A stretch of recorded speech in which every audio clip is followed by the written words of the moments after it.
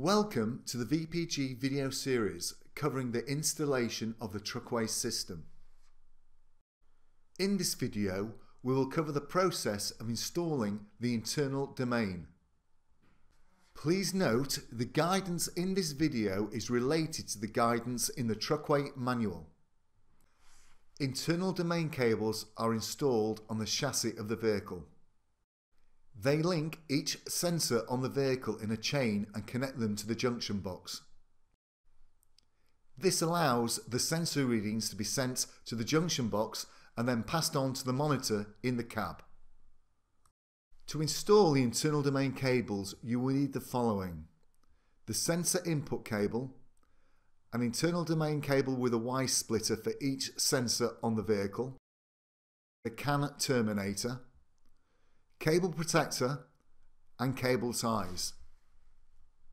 Before you start installing the internal domain cable, ensure you have all the necessary components and tools for the job. The first step of the procedure is to assemble the internal domain cable. Connect each internal domain cable with a Y splitter together to form a chain. In this example, there are eight sensors on the vehicle. When you reach the final Y splitter, connect the CAN terminator to one of the ports. Next, connect the grey plug on the sensor input cable to the grey port on the junction box.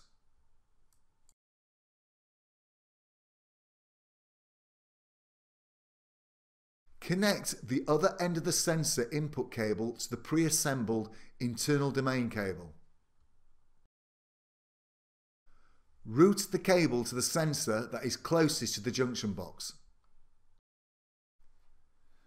Connect the first split to the sensor and continue around the vehicle until all sensors are connected to the internal domain cable. The next step is to secure the cables to the chassis of the vehicle.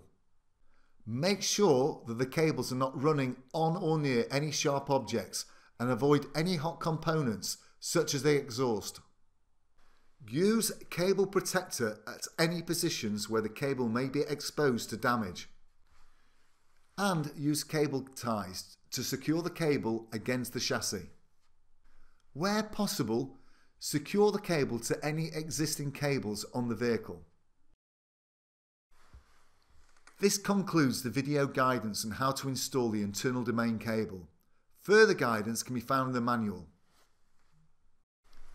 You can find more information on how to install the other parts of the TruckWeigh system in the playlist on our YouTube channel or on the website.